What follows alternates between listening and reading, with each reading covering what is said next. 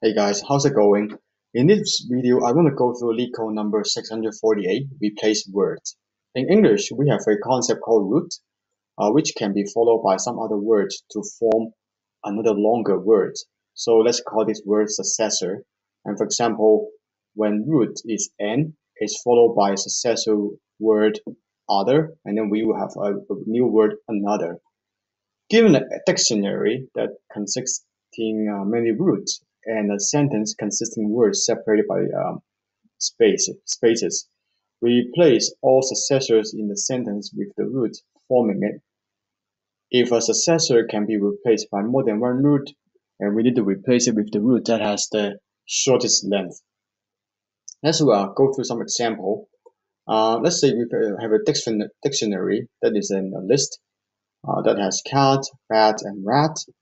And the sentence that we are given is the cattle was rattled by the battery. And uh, as we can see, uh, the word cattle that was replaced by the root cat. Rattled is replaced by the uh, root bat. Battery was replaced by the word rat. So uh, the output is the cat was rat by the bat. So um, for the word that uh, does not have a root, and we just will return the same word. And for the ones that do have it, and then we replace by the root. And for the second example, uh, we have a dictionary A, B, and C, and sentence is uh, and this uh, string. And um, we need to uh, replace um, first for the first word, we replace it by the root, which is A. Second word has the same root, which is A again, because it's starting with the letter A. And then third word uh, started with letter B. That's why it has the root of B.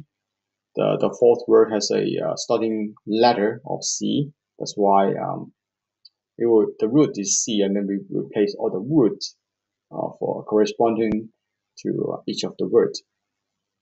And um, for this example, um, we are seeing multiple roots and some root.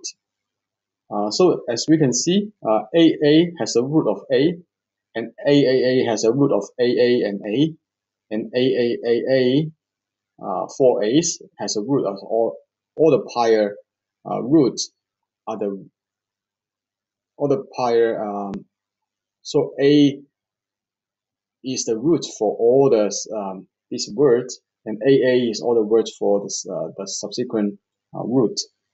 So actually, um, there is only one root in this uh, dictionary, which is uh, letter A 1a and uh, we can replace um, all these uh, words that starting with a by the root of a and then the remaining they don't have a root. Oh except this one it has a root of a. So we have always look at the shortest uh, length for the root. And uh, the same uh, apply to here. Cat is actually a root for cat, C-A-T-T, and so this one is being ignored when it's doing the operation. So cattle was replaced by cat, uh, and then the rest is uh, the same as uh, example one. Uh, example five, and we have AC and AB for the root. So um, abnormal has a root of AB, accepted has a root of AC. So uh, this is the return sentence. Now let's look at uh, the solution. Um, this is the function that we need to, to, to be executed. And first, we uh, convert the list of dictionary uh, to a set. So we call it set dic. Um, this, is, a set of a dictionary uh, because we want uh, non um, all the unique um, roots. That's why set uh, is uh, the data structure that we need. And then we can print it off to examine what uh, in the set dictionary. Uh, I think this is uh, optional.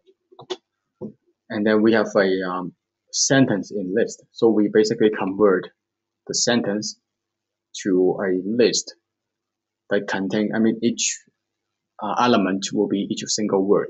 So for example, um, this string, the cattle was uh, rattled by the battery and it will be converted to uh, a list that has the first element of the list will be uh, the string the, second element will be um, the string cattle, and third element will be uh, the word was, etc. So this is how we do the com uh, conversion. And then um, we have a return list that is returning and that's containing um, all the um, in the output string and con containing um, each element is the the one that we want to return return. So uh, let's take a look at uh, how, how can we do that? So we have the find root function which will be called in this list comprehension for all the words in the sentence in list in here. And then we will um, perform this function find root. So what find root does is um, we need a word itself that we are inputting. There is a specific word that we're looking at. Also uh, the dictionary set for hat if in the range of between 1 and the length of the word if the prefix of the particular length in the head that we're looking at. So for example, um, title, so we will examine all the prefix like C, start with C. So we have uh, one, um, one character and then go all the way to CA and then CAT, and then CATT and then CATTLE and then CAT, yeah. So we, we go through all the way uh, the prefix all the way to the full uh, length of the word. So that's uh, what this uh, for loop is doing. And then we convert all the prefix to see, not converting, we checking to see all the prefix is in the in the dictionary set or not. If it is in the dictionary, and this for loop will be stopped, and then immediately return um, the prefix that we found. And this for loop automatically takes care of the case where um, other root is not necessary because the because it's checking the length increase from one Uh, and then increasing in order. So if we found the root as a, it already stops.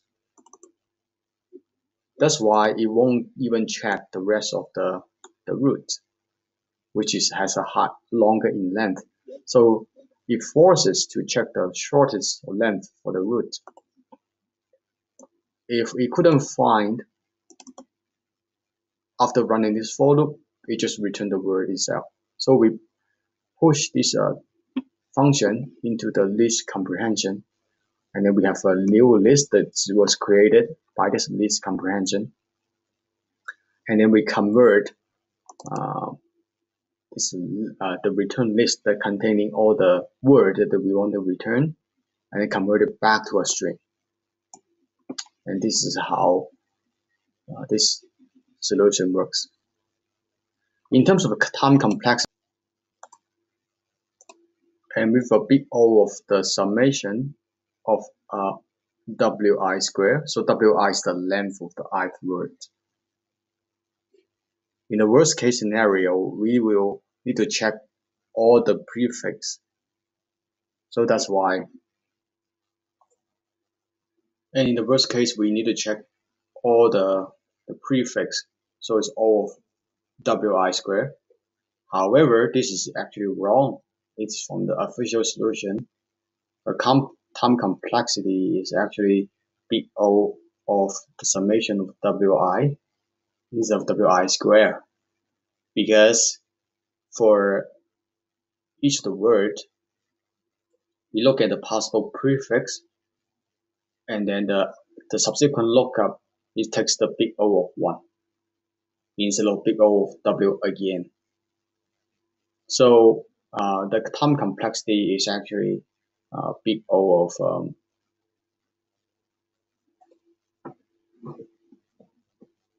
big O of the summation of the Wi. So this is wrong. And it's from the official solution. And the space complexity is a big O of n. And then comes from the set dictionary. And that's pretty straightforward. So this is so much for the solution. And uh, I hope you enjoyed it. Um, if you do, please consider like this video and subscribe to the channel. And I will see you in the next video. Thank you.